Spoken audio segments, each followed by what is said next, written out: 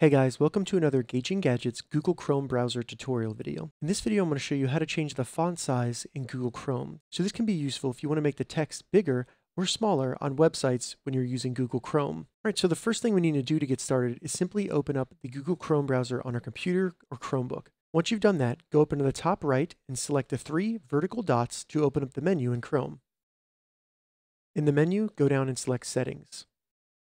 This will open up the settings for the Chrome browser, what we need to do now in the left sidebar is find Appearance.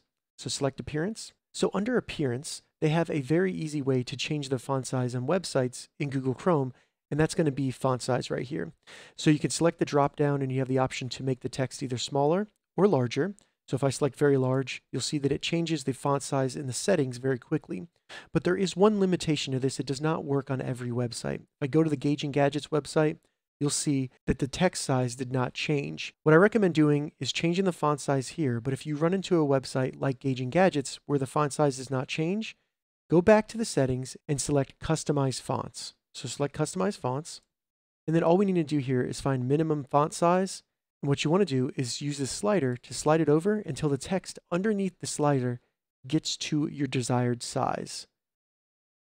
So as you can see, it's getting larger and larger. If I go to 16, or 18 and I select that, when I go back to the Gauging Gadgets website, you'll see that the text has gotten larger according to what I've changed under the minimum font size. Now, once you've made your changes to the minimum font size, you don't have to save anything. Just go ahead and close out of the settings, and then anywhere in Google Chrome, you'll see the font changed. All right, so that's how you change the font size in Google Chrome. If you have any questions about this, leave a comment below. I'll get back to you as soon as I can. If you'd like to see more Google Chrome browser tutorial videos, check the links in the description.